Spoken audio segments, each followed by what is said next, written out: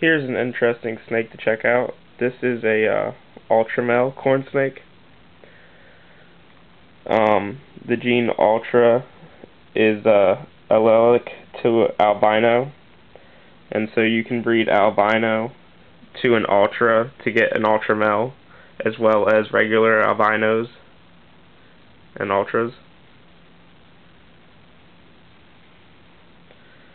But uh, I produced this guy in 2010, and it's actually it is a girl. I never really had a reason to keep on to her.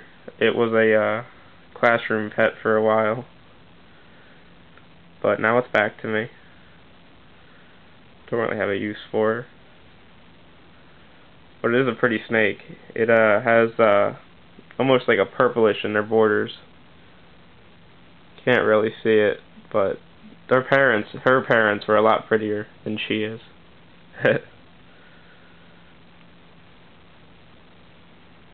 Anyhow, that's the uh, ultramel corn snake.